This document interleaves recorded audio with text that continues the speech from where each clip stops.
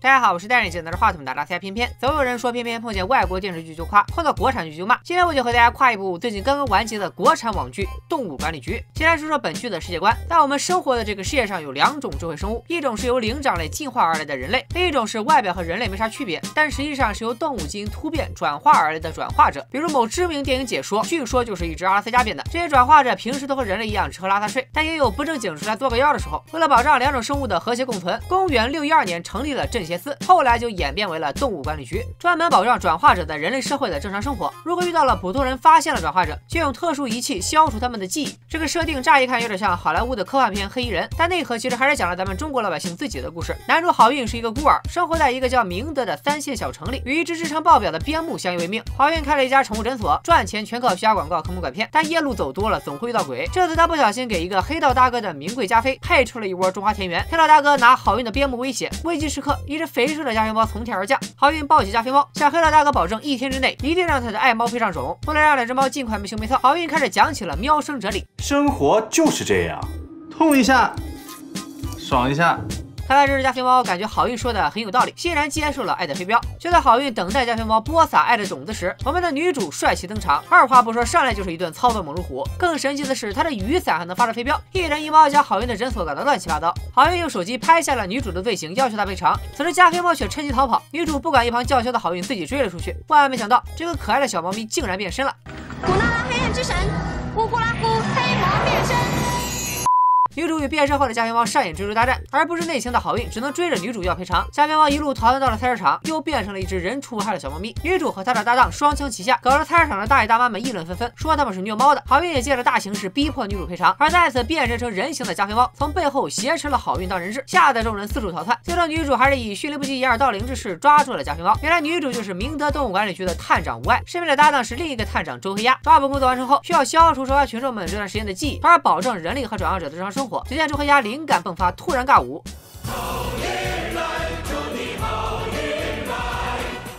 好的，这段尬舞和消失记忆没啥关系，只是为了吸引大家的注意力，然后要用这个非生物催眠喇叭，然后要用这个功能强大的音响喇叭。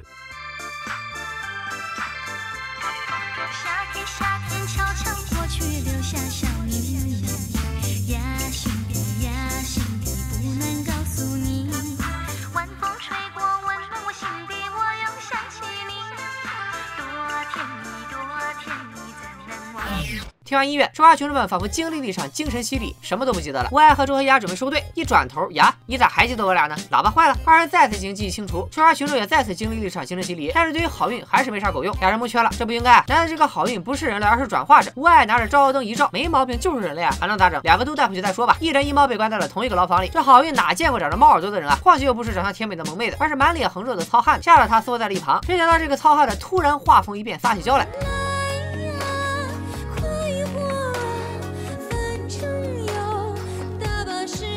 原来是在诊所时的那只爱的飞镖起效了，这谁顶得住啊？好友脑海里闪过了各种自救方法，通通无效。最后终于想到了曾经学过的神功。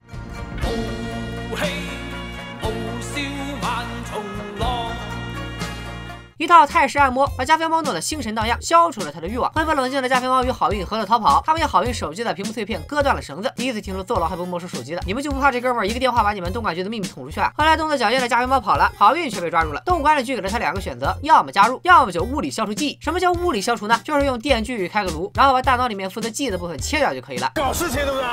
啥子都知道该怎么选。加入动物管局的好运被局长安排和无爱搭档，从此这对欢喜冤家开启了破案之路。好运也就此打开了新世界的大门，比如什么活了五百多岁、自杀八十四次的水熊虫精啊，在公众场合放屁引发爆炸的狐狸精啊，靠卖萌被收养才猥亵少女的泰迪精啊，还有一只鸭子精被活活烧死，案发现场极度惨烈。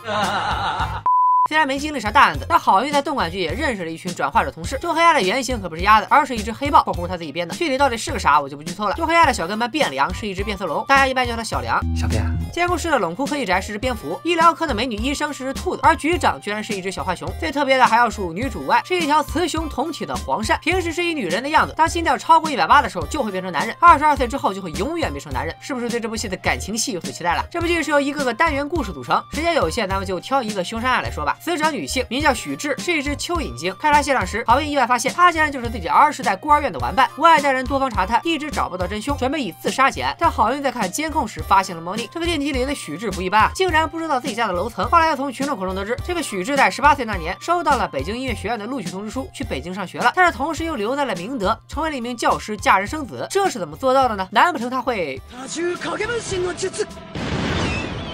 别说蚯蚓精还真会分身，只要把自己切成两段，就能长成两个自己。如果许志分身了，那极有可能是北京许志杀了明德许志，从而取代本体的生活。毕竟北漂这么苦，是吧？说二十那十快，无爱和好运马不停蹄的来到帝都抓人，但由于没有免疫许可证，他们只好低调的装成游客，加上经费不足，只能住在一个房间里。可是房间像极了爱情啊！夏天，夏天悄悄过去，留下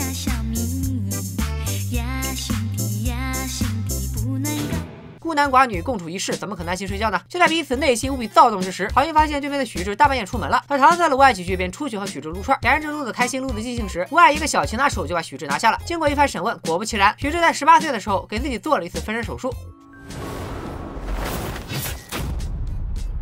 分身。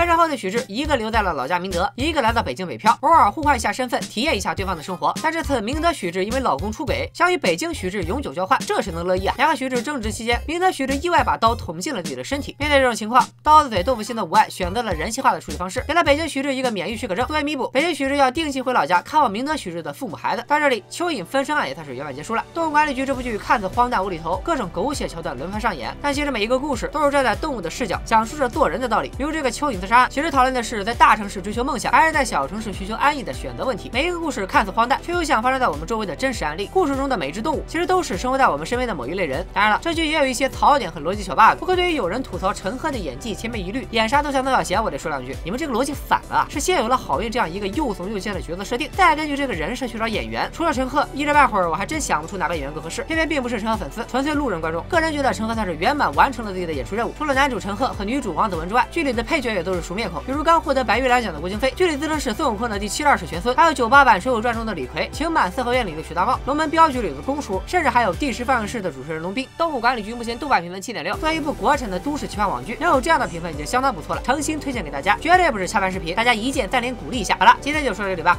拜了个拜。